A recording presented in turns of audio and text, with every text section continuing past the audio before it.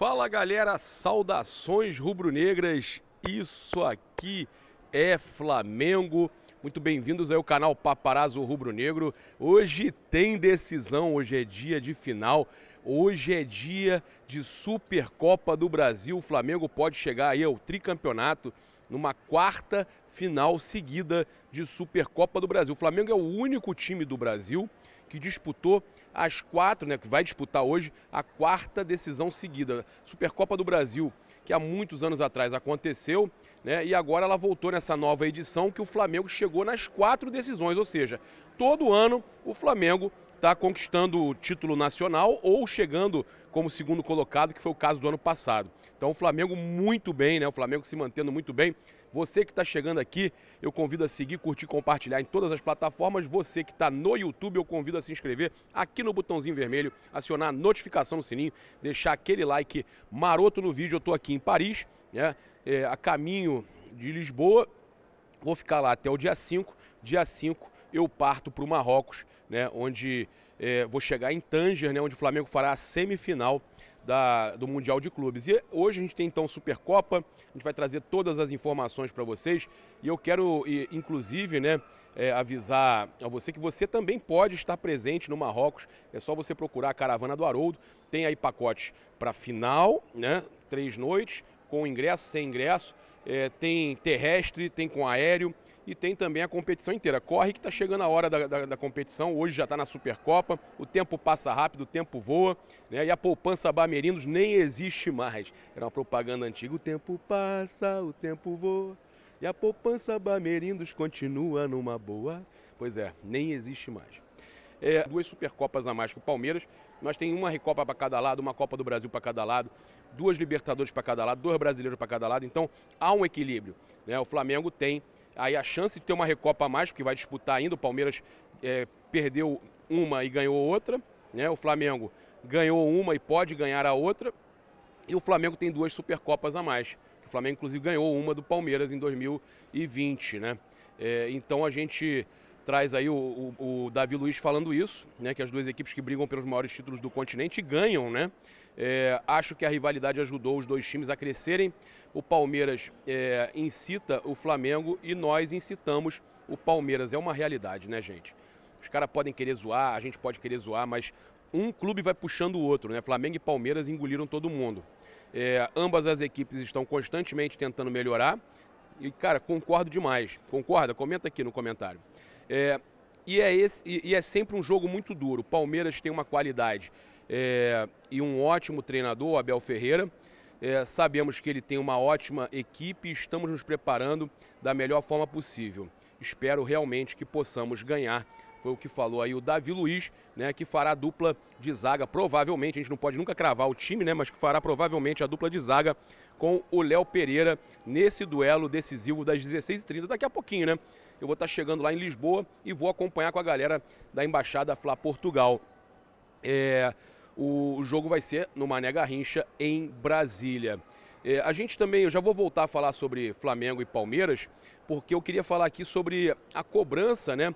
Do Renato, o jornalista Renato Maurício Prado fez uma cobrança ao vice-presidente de futebol do Flamengo, Marcos Braz, é, ele, ele cobrando aí é, que o Flamengo iria co é, contratar, né? o Braz falou inclusive no nosso podcast, no Pod, no, no, no, no pod Papa, ele falou que o, o Flamengo ia contratar um jogador de nível mundial, muito acima da média.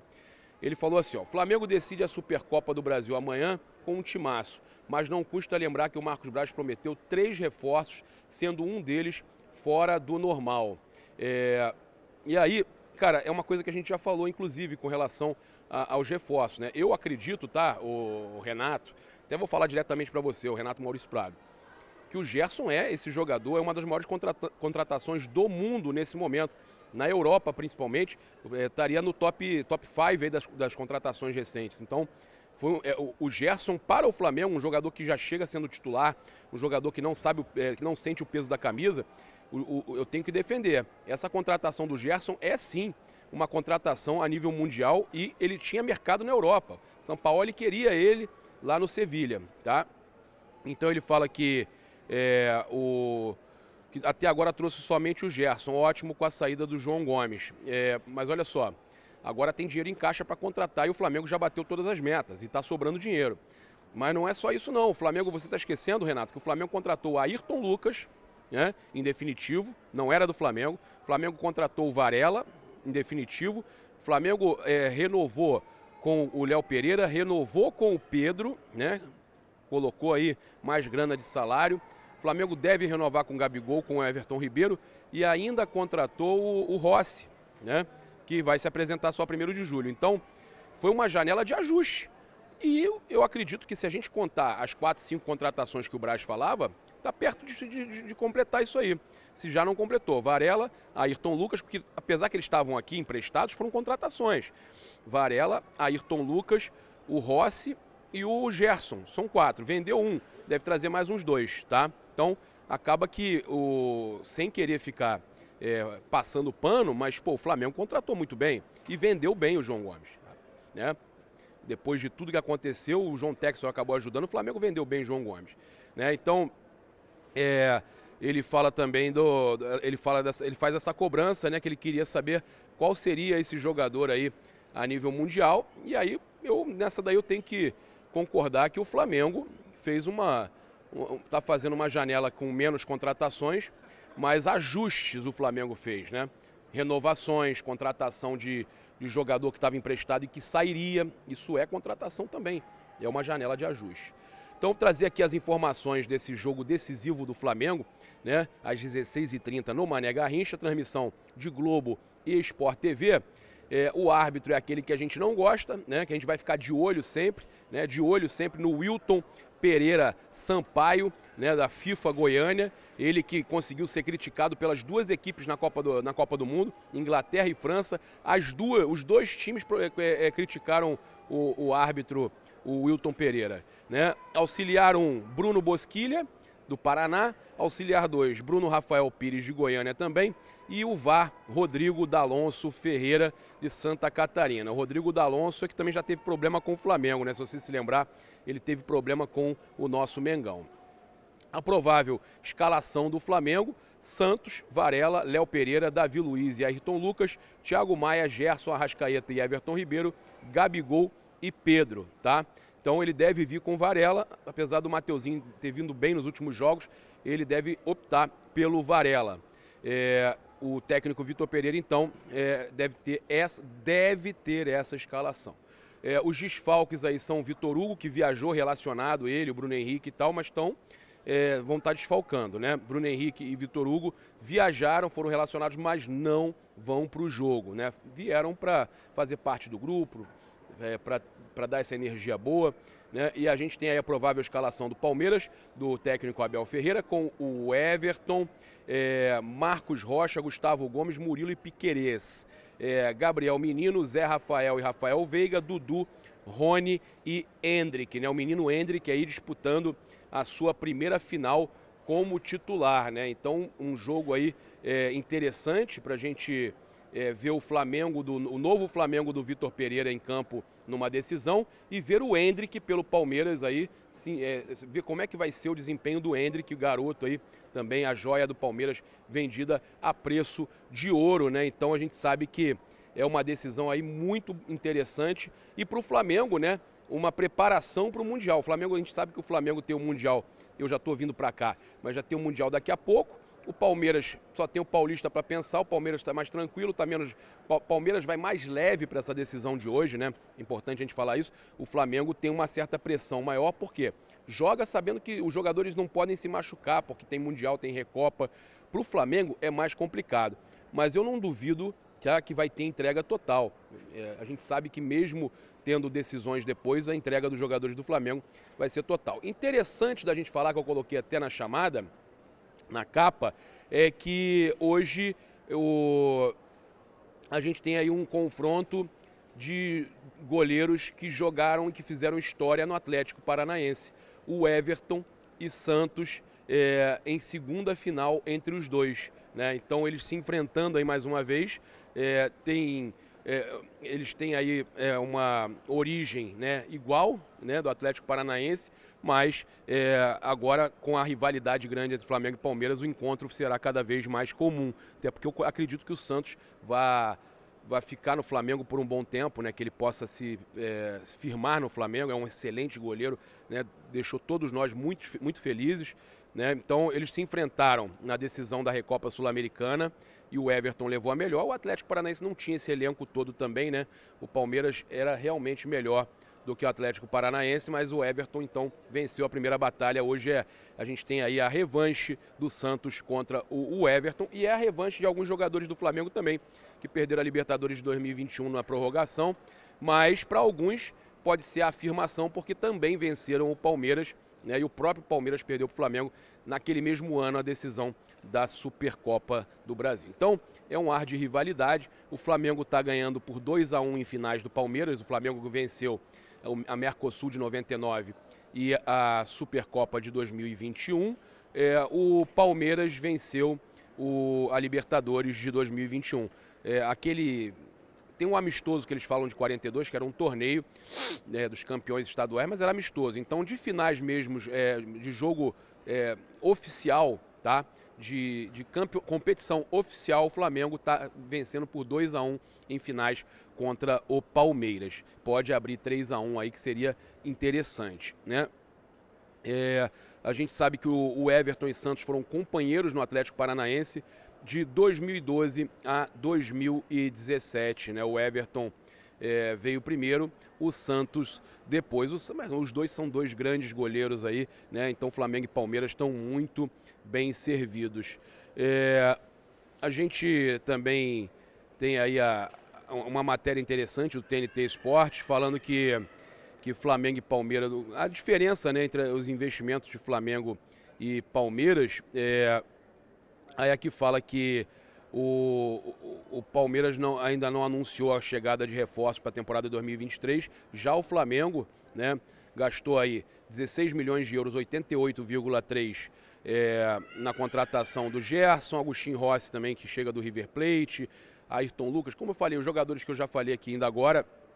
Então o Flamengo nessa daí vai dando de goleada, Flamengo se reforçando aí para a temporada 2023. O Palmeiras ainda não anunciou esses reforços, né? Então a gente sabe que é um momento aí que o Flamengo vem com essa vantagem, né? Porque eu falo que o Abel Ferreira tem a vantagem de jogar com esse mesmo time já há muito tempo, de conhecer todos os seus atletas, e o Vitor Pereira acabou de chegar, está ainda numa fase de preparação é, trazer que a negociação do João Gomes quase dobrou a meta do Flamengo com vendas em 2023, né? E isso dá uma tranquilidade, né? É, o Flamengo tinha expectativa de arrecadar 61,4 milhões e é, já chega a 115 milhões em vendas.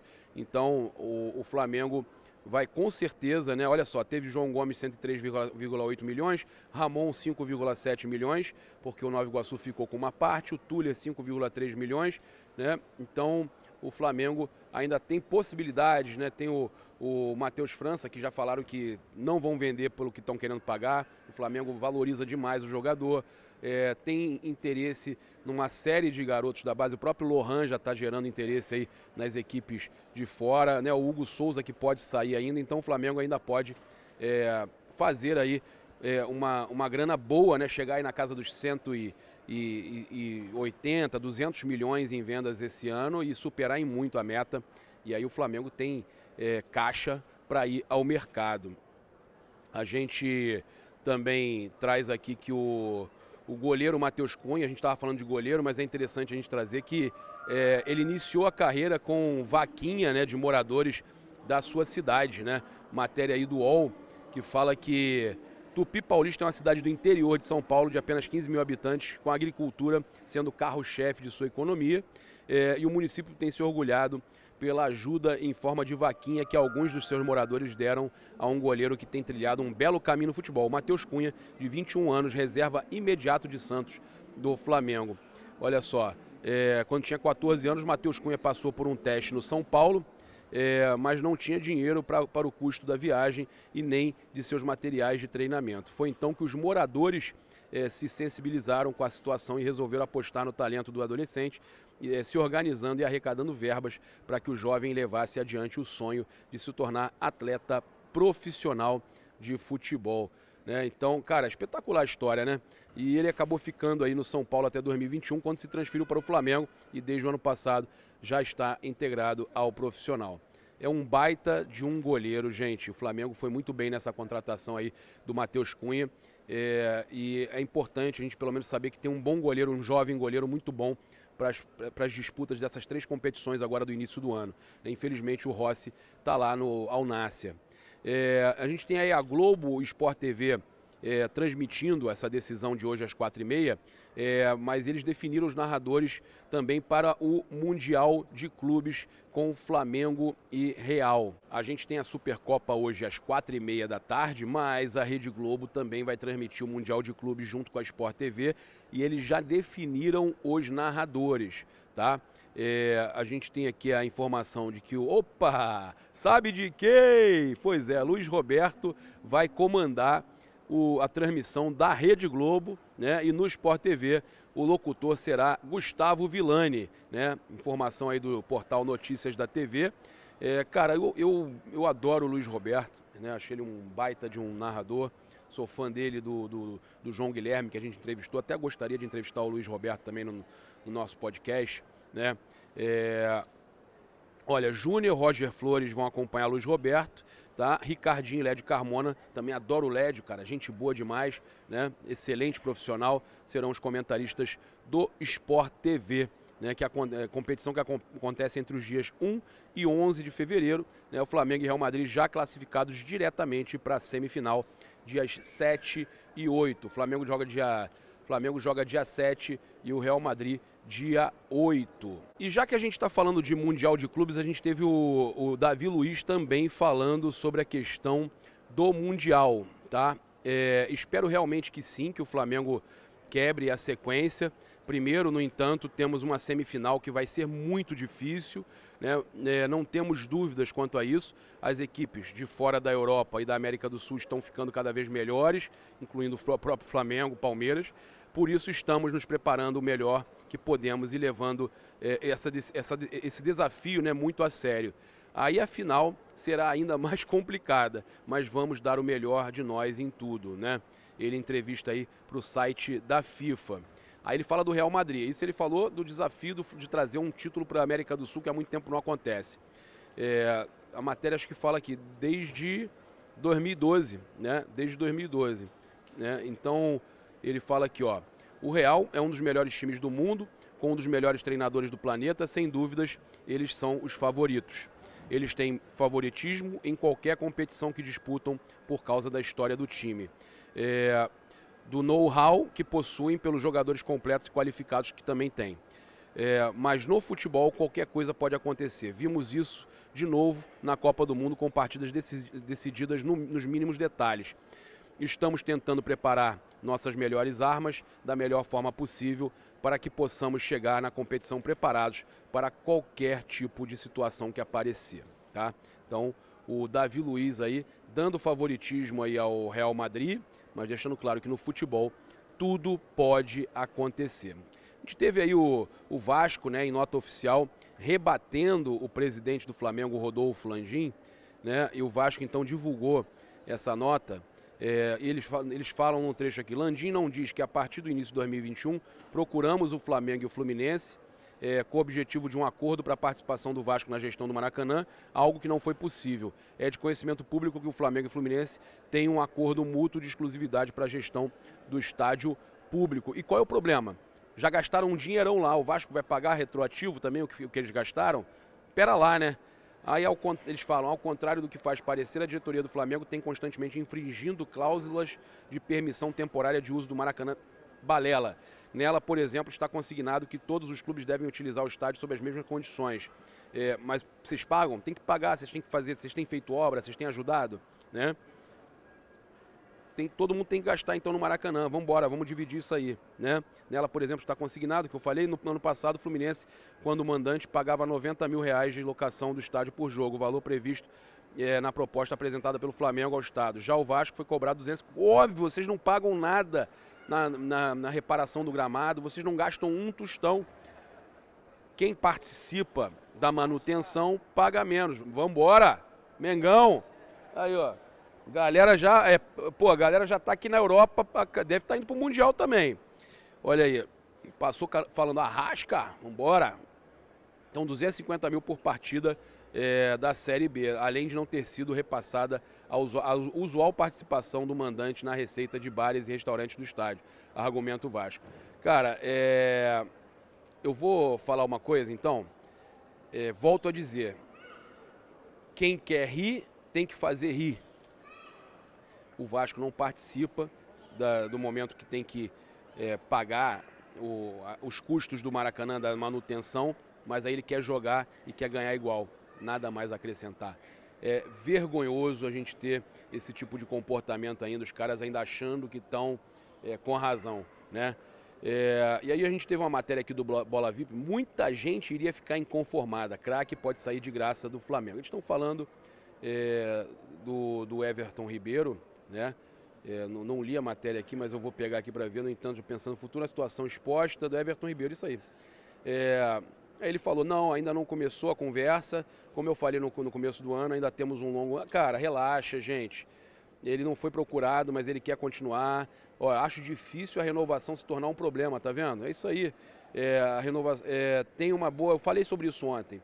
Tem uma boa relação com a. Que eu vi a matéria, não entendi o que eles estavam falando no Bola VIP tenho uma boa relação com a diretoria, então estou focado agora nessas competições. E eu já falei, inclusive, para vocês que o Totói não deixa ele sair.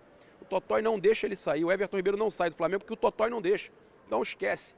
Esquece essa ideia. É isso. Então, olha, meu provável placar para hoje, né? Eu acho que o Flamengo vence apertado, 2 a 1 3 a 2 Vai ser um jogo. Vai ser um jogo difícil, tá? O Flamengo vence por 2 a 1 1 a 0 3 a 2 é, é placar assim. Então, é, eu não vou, eu não gosto muito de arriscar em decisão, mas eu acho que o Flamengo vence de forma apertada, difícil, né? E deixa eu perguntar aqui, Isabelle, Flamengo e Palmeiras hoje. 2x1 um Flamengo? Minha esposa falou que é 2x1 um Flamengo. Não costumo errar, não. Eu falei 2x1 um também. Ela falou 2x1. Eu fui no 3x2, o placar de um, de um gol de diferença. Ela falou 2x1. Ela costuma acertar. É isso. Convido você a seguir, curtir, compartilhar em todas as plataformas. Você que está no YouTube, eu convido a se inscrever aqui no botãozinho vermelho, acionar a notificação no sininho, deixar aquele like maroto no vídeo, utilizar o cupom PAPA nas lojas espaço rubronegro.com.br e loja.flamengo.com.br. Com o cupom PAPA você tem 5% de desconto. Ó, o novo manto aí tá bonitão. Você pode garantir aí com desconto do Papa. É, sócio torcedor tem personalização grátis, mas com o cupom do Papa você tem desconto, 5%. Vem com a gente, vai lá nas lojas oficiais que você tem desconto online, tem desconto. Na loja física é personalização com sócio torcedor. Tamo junto, agradecer também aí a loja do Flamengo em Orlando, né? Lembrar que lá na Flórida, você que está de férias, tem lá na loja de Orlando é, o, todos os produtos do Mengão também, você pode garantir lá na Flórida, cara, na International Drive, ali é, no mall do Banco do Brasil Américas. Então não perca a oportunidade também de utilizar o desconto do paparazzo lá na loja é, Nação Rubro-Negra de Orlando. Tamo junto, um grande abraço, saudações rubro-negras. Isso aqui é Flamengo, vamos Mengão. Pós-jogo mais tarde eu quero estar comemorando. Vambora, valeu!